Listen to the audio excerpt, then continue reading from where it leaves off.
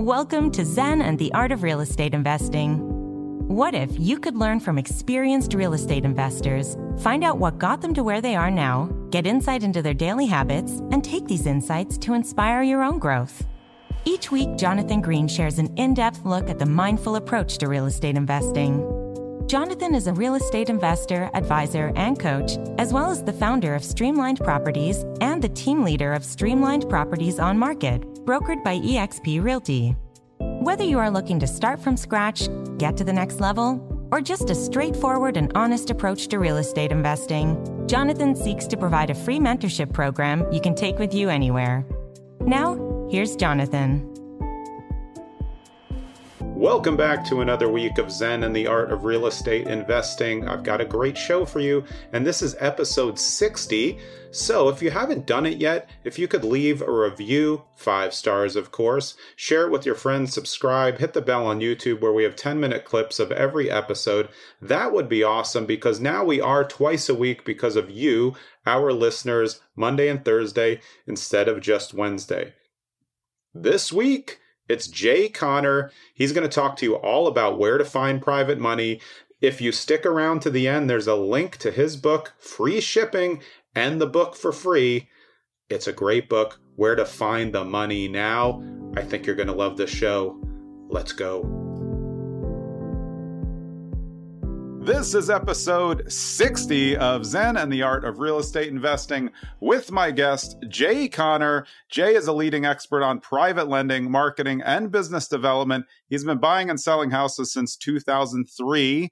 He's rehabbed over 450 houses, been involved in well more than 50 million in transactions, and his book, Where to Get the Money Now. You're going to want to stick around till the end because we're going to talk private money a lot, but that book's going to be available at the end. Jay, welcome to the show.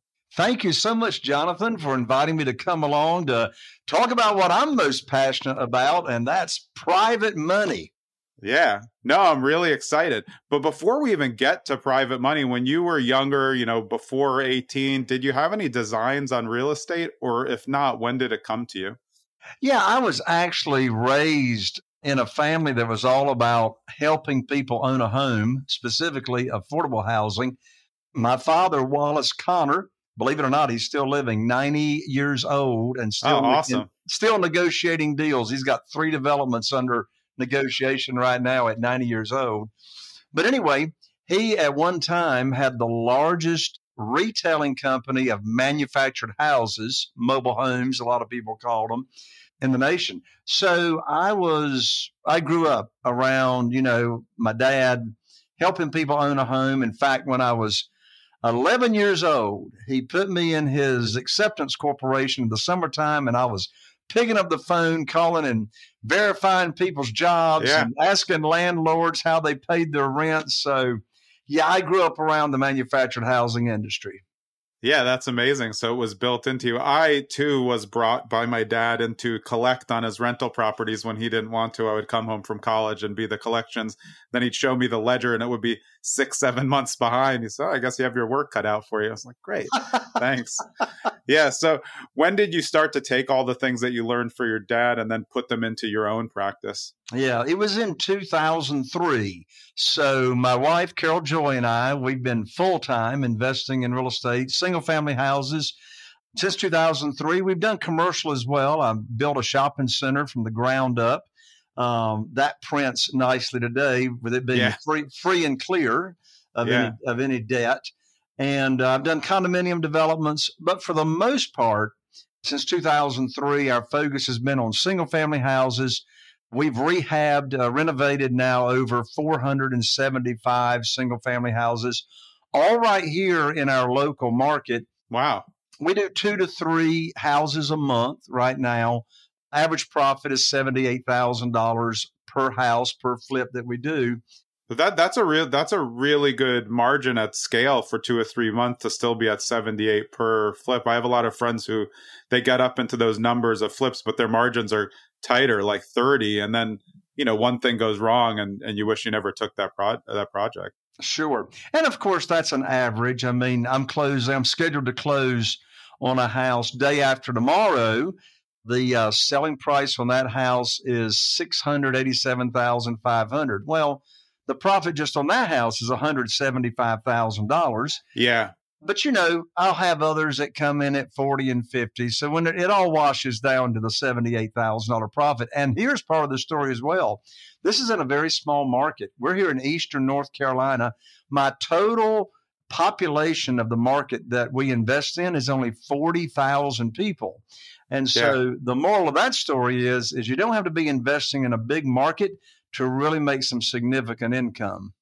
Yeah, I think that's really helpful for people who look at the bigger markets and the prices are bigger and they don't know how to focus locally. Do you think that over time, with your background, just having that community there has helped you not have to over market as much? People probably know you by now. They know who to come to when they want a deal and they know you're going to get the job done. Absolutely, that's the case. I mean, for a long time, we have been able to get quite a bit of organic leads yeah. from sellers just because, you know, to my knowledge, we are the only consistent game, the consistent company in town that does this all the time. Now, are there other investors? Sure. But I'm the only most consistent one that I know. Yeah. And I think if you look at like the kind of investor landscape now with a lot of new investors and then you know the people like us who've been around a long time they may come in with better offers or flashier things but most people aren't going to give them the deals because they want the sure thing and they want someone reliable and like you said you have a population of only 40,000 but you're doing that many deals it's because they know you have all of these other things that you've done they can see that you closed on all of them rehab them it's right there for them to see and not a big town they don't have to go far how much has that helped you just make it an easier business model to be, you know, quote, passive, not really passive, but a little bit easier in that aspect? Exactly. And so, you know, I mean, there's a lot to be said for local homegrown, like I grew up here, right? Yeah. And there's a lot to be said for the consistency, right? You know, do it, doing it week in and week out. It's like you know, one thing that a new real estate investor really needs to decide is are you wanting this to be a hobby or are you wanting this to be a business? And it's a completely different mindset and different frame of mind if you're really wanting this to be a business or just, you know, a side hustle. Yeah, and I mean, realistically, who wants to do business with anyone who's only on a side hustle? They're usually just choosing it because it it looks flashier in a small package, but also much much more likely to fail. You know, absolutely. And you know, one example that comes to mind of are you treating this like a business or are you treating it like a hobby? Well, here's here's one clue. Answer this question to yourself, and that is do you have consistent seller leads, leads from potential sellers, particularly off market sellers that are coming into your marketing funnel every day and every week? And, you know, I say all the time until you have consistent seller lead flow coming into your funnel, you're really not in business. Yeah, right. I mean, that's the name of the game is numbers and and I think people forget that not everything's a transact right away. So the ones that come in in January, maybe it's going to take them, you know, 18 months to to figure out when they're ready to sell. But because they can see that you have the consistency of staying on them, say, hey, how's it going? okay, it's six months out. That helps you put less pressure on them where new investors are so excited about the one deal they're trying to you know jam fake cash down their throat and cash is something we're definitely going to talk about money do you think that the your ability to do this many deals is is related to the way that you source money. Absolutely. If it was not for the private money, being able to close quickly, for example, on all of our offers that we make to for sale by owners, and of course that's the high majority as to where we get our business. In all of our offers, we make the offer that we can close all cash within seven days. Yeah. And, you know, a lot of people can't even sell that quickly. But I tell you what, one little secret as to how we get so many of our offers accepted. Just in the past month, Jonathan, we've had two sellers say, Hey, I want to sell, but I've got tenants in the property until next January. Or they'll say, I want to sell, but you know, we're not going to be really ready to move for six months. Yeah. Well, here's a writer downer. As you know, Jonathan, time kills deals. Yeah, exactly. The, the more time that goes by, from your initial conversation until actual closing, the less likely you're going to do business. So, for example, that seller that didn't want to sell for six months down the road because they're not going to move for six months, we just closed on that property and bought that house because we said, look, we'll go ahead and give you all your money and you can live rent free, not rent it back to them, yeah. but you can live for free, no rent for six months, and then, you know, we'll take possession. You know, the other deal that we just closed on, I said, well, we got, we got, I got tenants in there you know, through January 31st. We said, no problem. We'll honor the agreement that you have, the lease agreement with your tenants. You can go ahead and get your cash now, and we'll take over the, you know, management of the property and you can be done. So really understanding where, where what's the motivation of the seller really opens up the door to closing more deals. Yeah, I completely agree. And I think that proves exactly that. It's not the price that is really the most important thing to off market sellers. They don't know where they're going to go or they don't know what they're going to do with the money. They don't know how to deal with the problem that they have, which could be tenant, repairs, anything. When you experienced in the area come in and say, no problem, you want to leave all your stuff, like we always say, leave all your stuff, take whatever you want, leave it. And explain to everybody why it's why you're able to say hey live six months rent free or we'll keep your tenants is it because of the consistency that you built up because you know you have other deals to balance that out Oh, absolutely. I mean, we've got deals coming in the pipeline all the time. And, like, for example, the one that has the tenant in it, I looked at how, how much my private money carrying cost was going to be and how much rent was coming in per month with the existing tenant. And guess what? It cash flows. So that was like a no brainer to do that deal.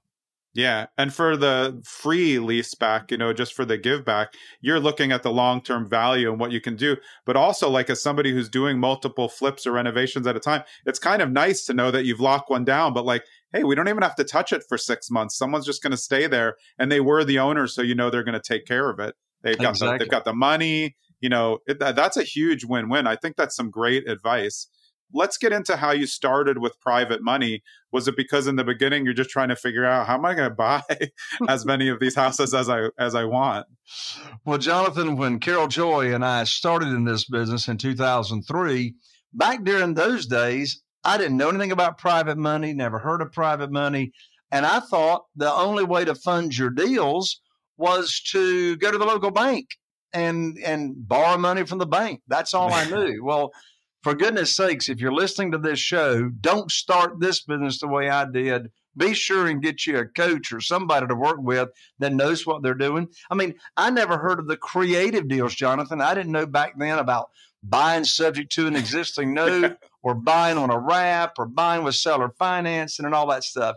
I was just using my mobile home experience that you know you got you got wholesale money, you got you know floor plan money that you got from the bank or line of credit. So that's what I did. The first six years, I relied on the local bank to fund our deals. And back during that time, if you could fog a mirror and you could breathe, you could get an unsecured line of credit, an unsecured line of credit.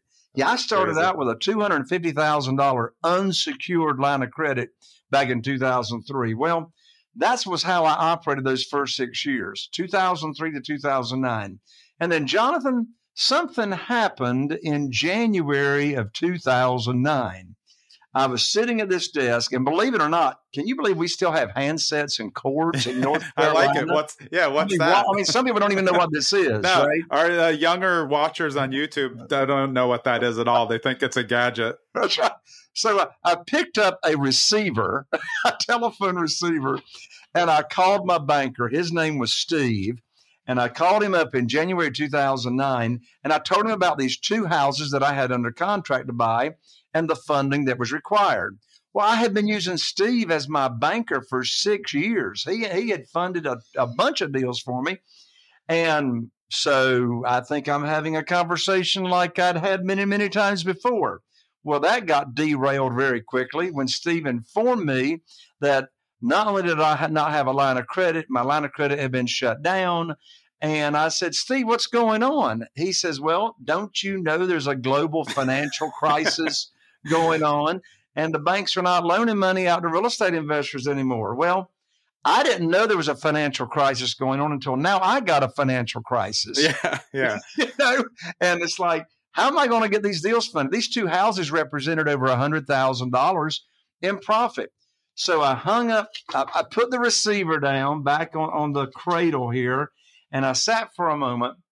And a friend of mine, who is also an author, Dr. Benjamin Hardy, he wrote Yeah. a book uh, with Dan Sullivan that became Who very popular a couple of years ago. And I think you just said the title.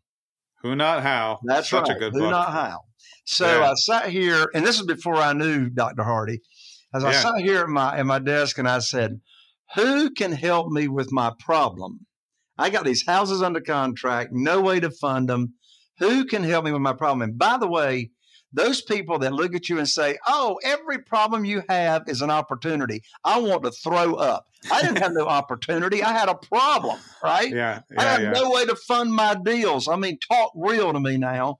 And so I said, Who can help me with my problem? Well, the first person that came to mind was Jeff, Jeff Blankenship. He lived in Greensboro, North Carolina at the time, good friend of mine and Carol Joy's. And he was investing in real estate investing. So I called him up and I told him what happened with my line of credit. He said, Well, welcome to the club. And I said, What club are you talking about? He said, The club of losing your line of credit at the bank. They cut me off last week. I said, Well, Jeff, I'm here asking you to help me with my problem, right? So, how are you going to fund your deals? And he said, uh, Have you heard of private money? I said, No. He said, Have you heard of self directed IRAs? I said, No. What's that? So, he gave me an overview of what this world was all about. Let me tell you something, Jonathan. This was the biggest blessing in disguise I've ever had in our business. If it had not been for the bank cutting me off Yeah. and me learning about private money, first of all, I wouldn't even be here on your show. We wouldn't have this topic to talk about. And number two, because of getting cut off from the bank, our business tripled the next 12 months. Here's why. You remember all those foreclosures were going on? I mean, foreclosures were going on everywhere for a different reason than they are now. Yeah. Well, you had all these foreclosures and the banks weren't lending money. So the only way you could buy those foreclosures if you had the cash because the bank wasn't going to give you the money. Well, in less than 90 days, I was able to raise $2,150,000 in private money. So I had all this money burning a hole in my pocket. By the way, I closed on those two deals that I had under contract. So I had a problem. I had all this money and and you know, where are the deals? So I was able to triple our business by buying those foreclosures with private money. And again, I'm not talking hard money when I say private money. I've got some very, very good friends who are hard money brokers and hard money Yeah. lenders, but they are brokers of money. They go raise private money for their hard money fund. And what I do and what I teach as well is how do you go straight to the source? How do you find those people and start doing business with human beings, individuals, to fund your deals? And that just changed the whole trajectory of our business. So where did you go to start with that 2.9 ish million? Like where was the first person that you started with? It was Jeff, but then where did you go from there to figure out before you knew what you know now? Like, well, who's going to want to invest with me? What do I have to present to them? And how are we going to come to an agreement on the terms? Yeah. So the first thing I did was I got my mindset straight. I said, look, I don't want to go out asking anybody for money. I don't want to be begging. I don't want to be chasing. I don't want to be selling. In fact, Jonathan, I've yet to ask anybody for money. I've got eight and a half million dollars in private money funds available at any time from individuals. How in the world did I get it? So get the mindset first. So how do I have all this private money available to me without asking anybody for money? Here's the answer. I put on my teacher hat, my teacher hat, and I started teaching people that I already had a relationship with what private money is. What's my private lending program? So I had to put my program together. So my program entails well, how much interest, what interest rate am I going to pay? What's the length of the notes going to be? what's my maximum loan to value that I will borrow from anybody. And by the way, it's not, it's loan to after repaired value, not loan yeah. to purchase price. How can they get their money back early if they have some kind of emergency come up? So I put together my program that I would start teaching people. So again, it was all about teaching. One important lesson never, never, and I learned this the hard way, but never teach your program and have a deal at the same time that you need funded in the same conversation with a potential private lender because now you sound like you're begging and you're not even trying to sound like you're begging. You know, I mean, here's the program. Now here's a deal that I need funded. So we separate those conversations to where we teach the program. They love it. They're on board. I don't even have to ask them, you know, exactly. You, do you want to get on board? I mean, I teach it. Of course, they're going to tell me, you know, without me asking. Yeah, and I think that's a that's just a regular strong business philosophy for people who become experts in the field. There's no reason to tout a program or anything. People will find it once they've gotten all of this, you know, information from you whether paid or not. They know they're going to come to you. And I think that's a you know, that's just a good thing for especially new investors. You can't go try to help and have your hand out because it doesn't look right. So you have to help first, add value first, and then wait build a relationship. With relationships come money if you do it the right way. Absolutely. I couldn't have said it better. And so then they're on board. I mean, do they have, you know, retirement funds and you're going to introduce them to the company that you recommend that does self-directed IRAs? I've got 47 private lenders, individuals right now that's funding our deals and they're from $30,000 each to over a million dollars each. And so we teach it and then when you have a deal to fund, here's the exact script. Here's the script. I pick up the phone, I call them up, have a little chit chat, and here's exactly what I say. And let's say, Jonathan, you're one of my private lenders. I say, Jonathan, I got great news. I can now put your money to work. And let's say you've already told me you got $150,000 just investment capital that you want to put to work. So I call you Jonathan. I got great news. I can now put your $150,000 to work for you. I have a house in Newport, North Carolina, adjacent here to Morehead City, with an after repaired value of $200,000. The funding required for the deal is your 150,000. Closing is next Tuesday, so you'll need to have your funds wired to my real estate attorney by next Monday. I'm going to have my attorney email you the wiring instructions. End of conversation. If I ask you, do you want to fund the deal? That's the most stupid question in the world I could ask you. of course, you want to fund the deal. And here's why I know you want to fund the deal. Number one, you've been waiting for the phone call. I told you I can probably put your money to work within a month or so. And particularly if you have moved your retirement funds over to a self directed IRA company and your money is sitting there it's not earning you anything. And the reason you moved it over there is because I suggested that's what you do with your retirement funds. The money's sitting there. If you don't fund my deal, you're not going to make any money because it's yeah. just sitting there in the retirement funds. So, in answer to your question, what did I do first? Got my mindset straight. We're not we're not chasing, begging. We're not asking. We're teaching. We're helping. I got my program that I'm teaching, right? I know my program, right? And so where do I go and what kind of conversation do I have with potential private lenders? Well, in answer to your question, where did my first one come from? Church, right? Carol Joy and I are very, very involved in our local church. We've been members since 1988. Trust and credibility is off yeah. the chart, right? Off the chart there. So, where do I recommend you start in your warm market? People that you already have a warm and fuzzy relationship with. I can remember it like it was yesterday, Jonathan. I went to Bible study on a Wednesday night at 7:30 here at the Church of Christ in Morehead City. Walked in the door. I knew who I wanted to speak with. His name was Wayne. I walked in the foyer, and there's two different types of approaches when talking with a potential private lender that is in your warm market. We have what's called the direct approach, then we have what's called the indirect approach. So the way the indirect approach works, which is what I my conversation was about with Wayne, the indirect approach employs the use of a very very powerful phrase. And that phrase is, I need your help. I need your help. And I'm not going to be asking for money. So here's how it played out. I walked in the foyer, Wednesday night Bible study. I walked up to Wayne. We said hello. I said, Wayne, I've got something I'd like to visit with you about confidentially after church. Can we visit for a few minutes? He said, Well, sure, Brother Jay. So we got together after church, after Bible study, went down to the nursery, closed the door, and here's exactly what I said to Wayne. I said, Wayne, you know everybody in this town. And he did. He was the yeah. original Zenith television dealer in Morehead City. Now, if you don't know what the Zenith television dealer was, that means that you only remember Walmart. The Zenith television dealer was before Walmart came to yeah. town. That's where you went to buy your TVs and get actually back in those days they repaired TVs. So Wayne knew everybody in town. And I said, Wayne, you know everybody in this town. I said, You're involved in the Rotary Club. I said, I need your help.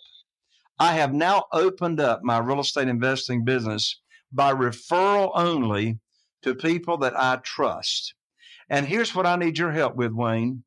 I'm now paying insane high rates of return on our deals and for people that invest with us. So when you run across somebody that is complaining about the stupid low CD rates at the bank and how volatile the stock market is, would you refer them to me and I'll tell them about my program? Well, Wayne sat there for a second. And what do you think Wayne said? Wayne said, Well, now, Brother Jay, what you got in mind? Right. And I said, Well, are you saying you might be interested? He said, Well, we ain't getting nothing into CDs. Uh, what kind of rate are you paying? And I said, Well, Wayne, it really sort of depends on the deal. You know, what sounds high to you? And he says, Well, we're only getting back in that day, it was like three and a half percent on the yeah. CD. We're getting like three and a half percent in the CD. And he says, I don't know, maybe five or six percent. I said, Well, Wayne, I can't pay you five or six percent, but I can pay you eight percent. He said, Put me down for two hundred fifty thousand dollars, right? And so yeah. I went to his and his wife's house the next day. I went over the whole program and they became my, you know, first two hundred and fifty thousand dollar lender. By the way, they always have more than they tell you.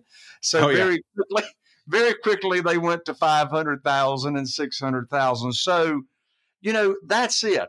I just asked for his help to spread the word that I'm now opened up my real estate investing business. That's the indirect approach.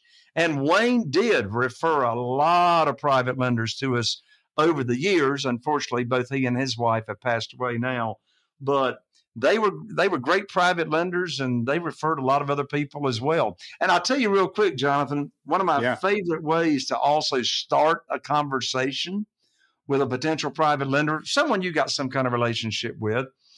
I love did you know questions. I love did you know questions. So one of my favorite did you know questions, I'll be, you know, I might be over at Smithfield's, you know, fried chicken and pork barbecue joint, you know, eating lunch with a friend of mine. And I might say something like this Jonathan, did you know there's a way people can earn unlimited money per year tax free? Well, of course, you being my friend, you're not going to know the answer to that question. You being the guru that you are, Jonathan, you know the answer to the question, but most people don't know. Well, no. How in the world can people make tax free income? And then I said, Well, have you ever heard of self directed IRA companies?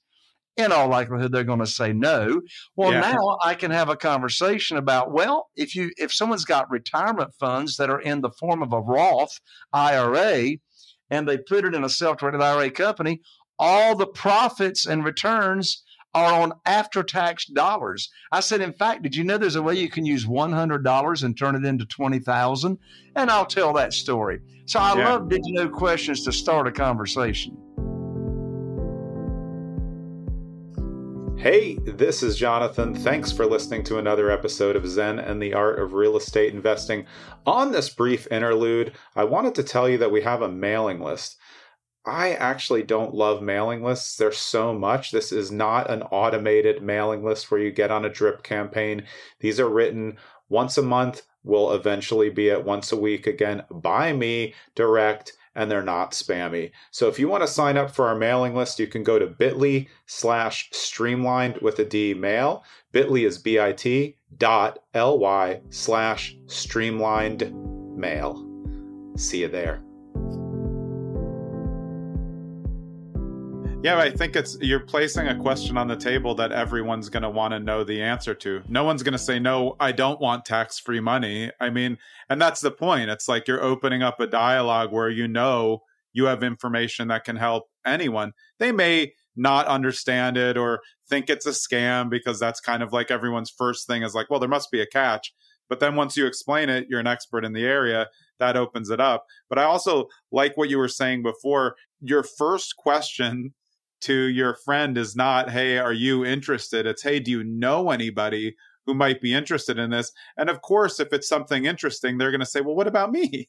You know, why, why are you looking past me? But you actually ended up, like you said, getting both because Wayne was interested, but then after that, he also referred. But then his referrals come with an extra layer of trust because he's in the program, which makes him an evangelist for what you're doing, which is why it's so important. Again, you're talking about a smaller market too. So what you're doing is you're using other people to help you know build your funnel of potential investors by if you if you do a good job for five and those five tell five people you know now you're really going yeah Absolutely. really really interesting but i think for for newer investors they have to understand you're building a funnel of unlimited money so you can increase your deal flow instead of again you know going back to the bank trying to work out what their new issues are and less vetting, right? You, if you have a personal relationship, you're not going to do all the vetting that a, a bank does. They're not going to do it to you because they already know.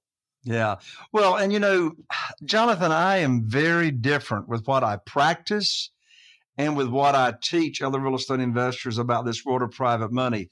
And I'm getting ready to say something that I know you've heard a hundred times, and it drives me bonkers.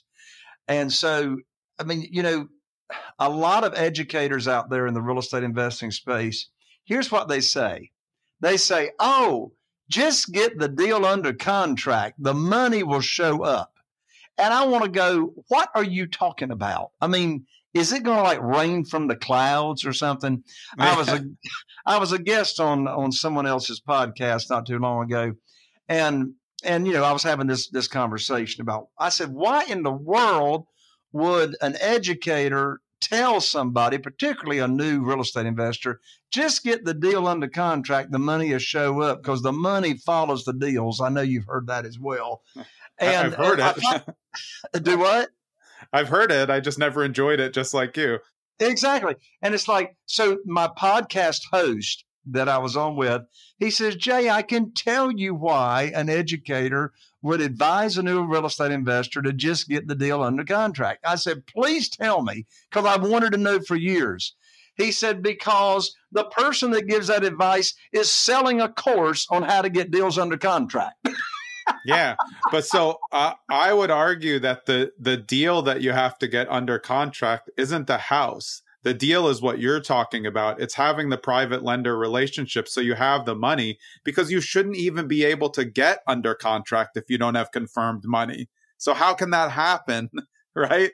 That's what we're talking about. You have a much better presentation when you have a fully streamlined process. This is where the funds are coming from. This is how many deals we've done, as opposed to someone doing an off market acquisition with no money, you know, fudging their way through, hey, we're under contract. Now I got to go find the money you know that's bad wholesalers to a T. I, I love your advice. I really think that it's hel- it can help the the new brand of investors who are caught up and looking at all the courses out there that say everything's so easy. I, I mean, it, you don't have to reinvent the wheel. We've both been doing it a long time, but you do have to understand which parts come first. How can you be under contract if you don't have the money? It makes no sense to me. Somebody's well, doing something wrong on the seller side. And what goes along with that as well, Jonathan, is think about, think, I mean, I experienced this when I got that first private money, right, from Wayne. And I think back how much more confident and how many more offers I made when I got money burning a hole in my pocket, right? I mean, yep. I just, I just don't want to be out there making offers on properties and I don't have any idea how I'm going to fund them. Now, I know a lot of people have been trained, new real estate investors, to do, you know, creative financing, buy subject to the existing note, seller financing. Well, I tell you what, I'm a pretty good negotiator. My acquisitionist is, I mean, she's been with us for 17 years, our acquisitionist, talking to sellers. But my statistics show after all these years, Jonathan, only 13%, 13% of for sale by owners will sell to me creatively, either subject to the existing note where they're transferring ownership and we make their payments and all that. What do the other 87% of all those for sale by owners require? All the money. Yeah. you know, That's why they want not, it. Jonathan, on your show, we're talking real life stuff. Yeah. Absolutely. this no, that's a good point though. jargon. no, and I I think there's, you know, I think if you're doing sub 2 or creative finance, you have to build lists that are perfectly set up for that. And your regular, you know, especially you also if you're building a reputation in the area and they know you're going to close, you it's hard to get them to understand. It has to really be the only thing you do in my opinion. I find it hard to be doing that all the time and then just mix in a subject to seller financing is okay i think because they think they understand they don't want to take cap gains so it makes sense on their behalf. But yeah i think you've set up what is a straightforward approach especially by building you know you have 47 lenders so you know you have the options. And i like the way that you phrased it before also you know here's your opportunity to put your money to work. And they've already vetted the system so they're ready like you said they're waiting money's sitting there let's deploy it and get the return. Yeah. great stuff you know, the most dangerous time to be raising money is when you need it. yeah. For that that's exactly why you said what you did before. If you if you put something under contract somehow and then you need to go get the money, you're going to do everything you can to get the money, which means you're in like a hard sell position, which means nobody wants to do business with you. You may agree to terrible terms for the money. You know, now you're going to be looking you're going to go from 8 to 15% because you wasn't you weren't prepared. You're going to take hard money now at 15%, two to three points. Terrible idea. And then you're going to try to flip it. And you know, we all know what's going to happen. It's going to take two times as long, cost you two times as much. You're going to be into the balloon like way quicker. So for uh, for someone new who's just getting started, how would you advise them to start down this path of trying to figure out one, not just what their investment, you know, uh, what they want to invest in, but how they're going to fund it you know, in a smart way from the beginning? Yeah. Well, first of all, as a new real estate or new real estate investor, decide what you want to invest in. I mean, is it going to be single family? You need to decide, okay, are you going to do double wides on land as well? Are you going to do condos? Are you going to do townhouses? All that, you know, those decisions so that you're not in the midst of making that decision when you've got like a lead coming in. So, what do you want to focus on? And don't be all over the board. Don't be trying to be doing, you know, multiplexes, you know, duplexes. Don't try to be doing land deals. I mean, decide what your lane is and learn your lane. There's a writer downer I never said in my life. Learn yeah. your lane, right? Know what your lane is. Uh, decide up front where's your geographical area that you're going to invest in, right? If I get a lead from New Bern, North Carolina, 45 minutes away, I know I'm not going, right? Easy decision. And I also I, I do want to give this word of warning, Jonathan. This just came to mind and it's so important. And I keep hearing more about it so here's a big word of warning. If you, particularly if you're a new real estate investor and you're looking to use private money, you will see on the internet, you will see on social media, you will see supposed private lenders and you'll see stuff that is like should be an immediate red flag to you such as hey i'm a private lender and you know i only charge 3% interest right good luck I mean, come on. So here's the game and how they play it. They want you to send them money up front. They want you to send what's called, they, they have all kinds of names for it a funding fee, right? Yeah. A closing fee, right? I mean, and they'll, and they'll be, I mean, I got a, I got a friend of mine that got duped terribly last year. My friend sent one of these scammers, and that's what they are. They're scammers $9,000 that had to be sent for some baloney fee before the money could be wired to his closing attorney. So here's here's your smell test. Here's the smell test. if a if a supposed private lender, of course, if you're teaching somebody in your warm market, they're not going to do that because they, they, they, I mean, you're teaching them. But yeah. if you have somebody you've never met and they want you to send them money before closing, you never send money. You never send money to a private lender, supposed private lender or a real one, until after you close. After you close, after you own the property. So I just want to put that big word of warning out there. Don't let the private lender scammers out there con you into sending any kind of money to a supposed private lender before closing. I mean, generally, if it sounds too good to be true, it is.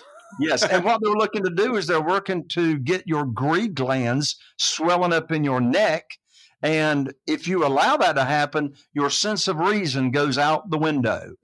yeah. Again, why you don't want to be in the desperate position where you have something that you have to fund right away.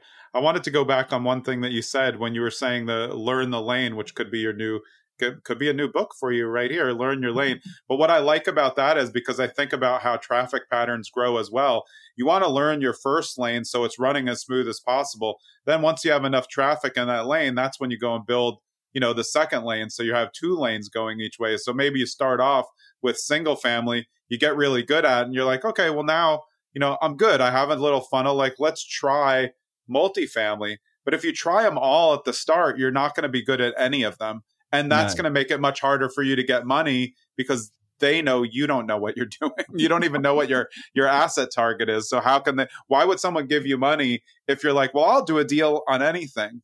You know, I have a big on market team too and we work with 500 or so investors and when I get a new investor and they come to me I say, "Well, what's, you know, what are you looking for as an investor?" and they say, "Oh, well, anything as long as the numbers work. I'm like, okay, well, I'll pass on that. you know, too, too, too early for me. You haven't done the work to, to do it. So in in this economic climate now, with with regular mortgage rates so high, just touching at like seven now, do you think now more than ever it's important for your not I guess not novice investors, but your beginning investors who've done a little bit? This is the time to start working on your private money relationships. This is you have to. I mean, how else are you going to fund the deal right now? Exactly. I mean, you know, I've got some hard money lenders right now, friends that are in the hard money business, and I mean, they're charging over twelve percent. Yeah, right. I've seen fifteen percent. Yeah, mm-hmm. and and points in this yeah. world of private money, there are no points. I never pay origination fees.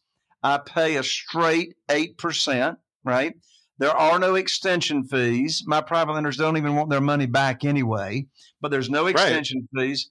And guess what? In this world of private money, you as the real estate investor and the borrower, you make the rules, right? I mean, when I was borrowing money from the banks, they made the rules, right? They set the loan to value and all that. Well, in this world of private money, we set the rules. You know, the old traditional way of borrowing money is you go to the bank, you you see your banker, you get on your hands and knees, you put your hand underneath your chin, and you go, please fund my deal. Please fund my deal. That's the old traditional way.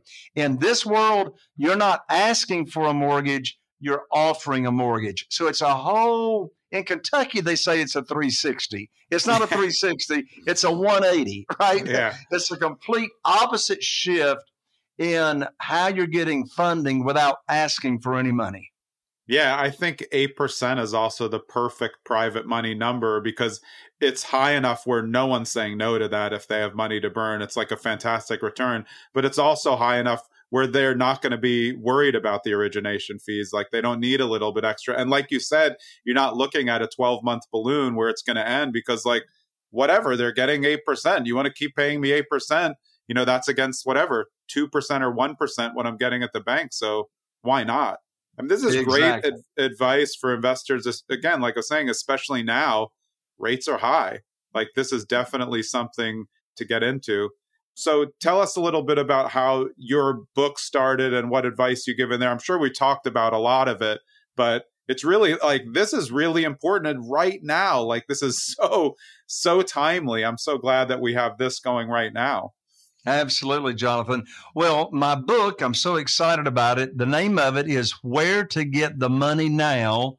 The subtitle is How and Where to Get Money for your real estate deals without relying on hard money lenders or traditional money. So I just finished writing the book. It came out about a year and a half ago. And so all the information is very timely. Listen, I do not hold anything back in this book. I don't hold anything back. In my book, and by the way, this is not an e-book. You can't download it. I actually autograph it and mail it to you. Believe it or not, the post office is still in business. So I mail you the book. You'll get the book in the mail. And in this book, it's going to walk you through the five steps that I practice and that I teach in the book. Five steps from having no private money to getting hundreds of thousands of dollars in private money in less than 90 days. So I have a whole chapter on private lender luncheons and events and how I've raised $969,000 at just one private lender luncheon event. So I go into the details of that. In this book, I've got my exact private lending program that I teach and offer new private lenders. So the whole program is in there. I talk about how networking is so important in growing your private money and how to use Business Networking International.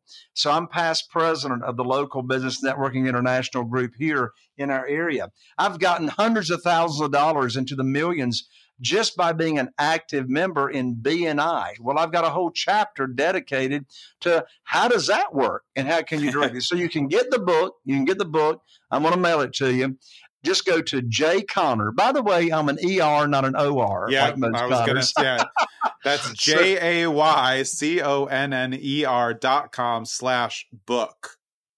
That's it, Jonathan. Jay Conner with an ER, jayconner.com forward slash book. And I promise you, you go there, we'll get it in the mail to you in less than 24 business hours.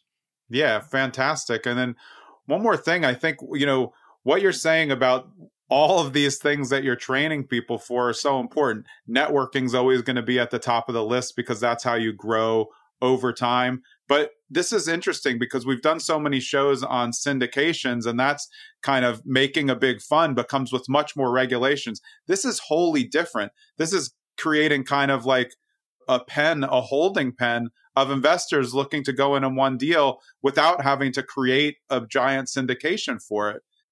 That's right. That's a that's a huge advantage because then you have much more control and much less. Not that it's regulation in a bad way, but like you're not taking people's all their money and pooling it together. You're working with one at a time most of the time. Are there times where you'll put two people's money together for one? Yes, so we can use more than one private lender to fund a house, a single family house.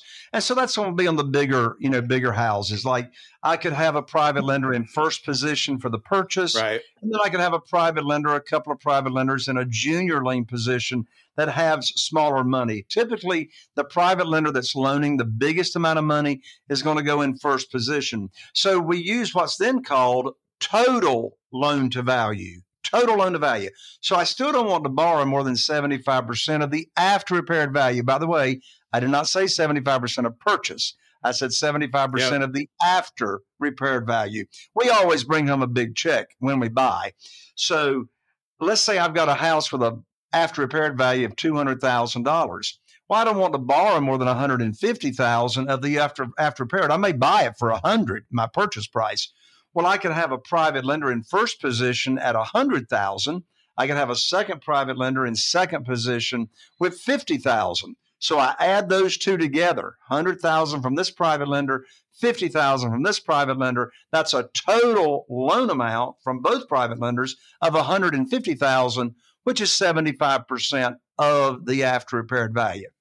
And again, much easier to put those together like that because you've already, so you have separate loan agreements with each of them. So it's just coming in and they're directly just sending the money into your attorney or into that. They're not sending their money together in a fund. So there's no securities issues there. You just have one to one relationships. And I like uh, what you're saying because people do have to understand there's first position, second position. And it's great to have that. You have a first loan on the property, second loan for the rehab both making good returns and then you're going to be able to slot them like that and then over time you might find people because of what you're saying before it's interesting because you can see like well this is how much they have to give this is a perfect fit for the back end renovation because they have 60,000 we need 60,000 for reno as opposed to someone who has 800 and you just want to take 60, might as well wait till you can use it for one big thing for them. Absolutely. Yeah, everything we do, all the transactions we do, we call them one offs. One offs. So you've got a private lender or a few private lenders that are funding that one house, and each of them has their own promissory note. They have their own, in North Carolina, it's a deed of trust. Most people call it a mortgage. They have their own mortgage, their own deed of trust. So we're not borrowing any unsecured money. They are getting the collateral that we're buying, they're getting the collateral to back that note. Yeah. Uh, this has been great. I uh, really appreciate it, Jay.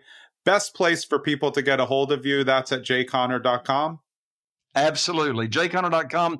Our phone number is on the website. And guess what? We actually pick up the phone and answer when you call. Can you believe? We actually answer the telephone. It's a phenomenon.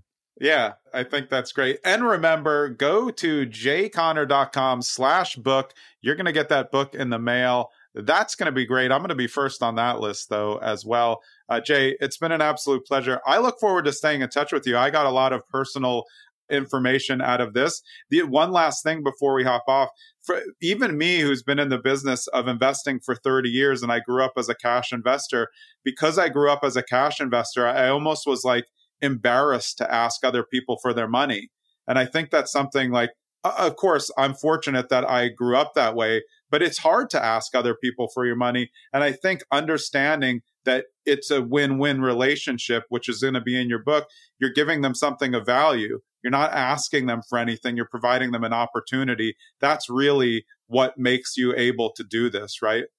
That's the key right there. No begging, chasing, selling. You're offering value. You're you're helping them, and it's like where else are they going to get these rates of return safely and securely? So you really have got a big value. And you know, the only complaint, Jonathan, that I've gotten from my private lenders over the years is they will complain, "Why didn't you tell me about this sooner?"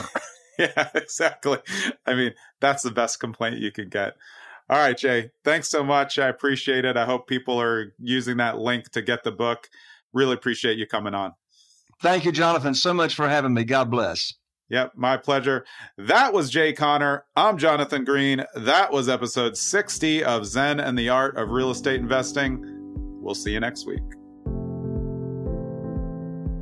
I hope you enjoyed that episode of Zen and the Art of Real Estate Investing with me, Jonathan Greene. And I just want to remind you, and this is always an uncomfortable part, I don't want you to think that I'm begging for you to like, subscribe, follow, do whatever you have to do for the podcast, leave a five star review. But if you like the podcast and you think it adds value in the real estate investing sphere, then just do me a personal favor. Like the podcast, follow it, share it when you can with your friends and be so kind as to write a five star review if you believe it deserves a five star review up against what else is out there. I would really appreciate it, and I hope you keep listening.